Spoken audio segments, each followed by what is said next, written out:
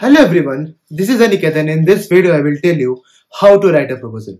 In my DMs, I was getting a lot of concerns and a lot of queries regarding how to write a proposal, what are the best practices to write, and how one should write the best proposal to get selected.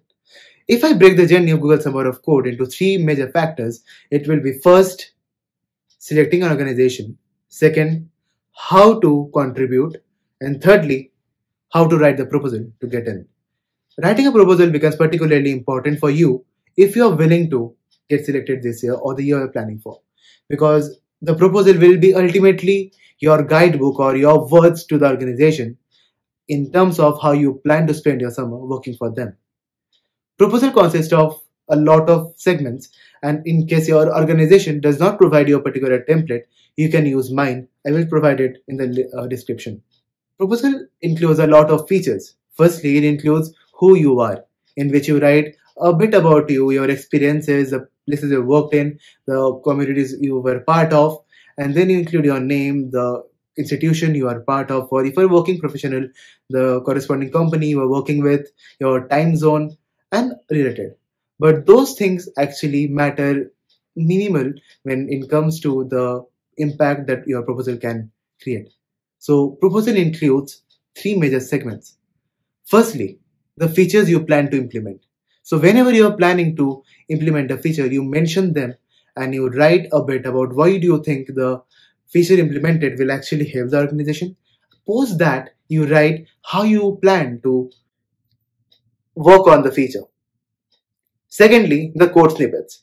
So whenever you're mentioning how you plan to implement the features, you should also write the code snippets and that acts as particularly bonus point and a lot of folks miss on that.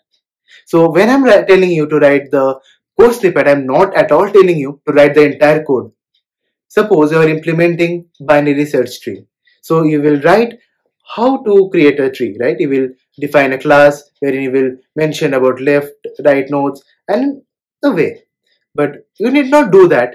Whenever I am saying to write a script, you will just need to write the particular function in which you will be checking if that particular binary tree is a binary search tree or not. Thirdly, the timeline. Timeline plays a particularly important role in which the organization admins understands if you have the particular understanding and if you know how and when you can build the particular features which you have mentioned.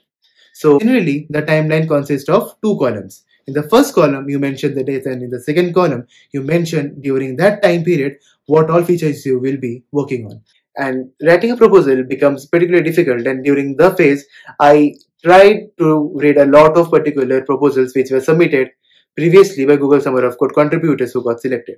I will be sharing the link of that particular repository in the description and i will also sharing the link to my proposal. In case you have any further doubts or if you want to review your proposal feel free to get in touch with me. But you know i would say it is better you send your proposal before submitting to your maintainer or mentor whom with whom you were talking while you were contributing and get their review before you finally submit that.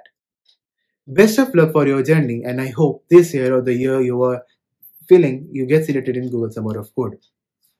Bye bye.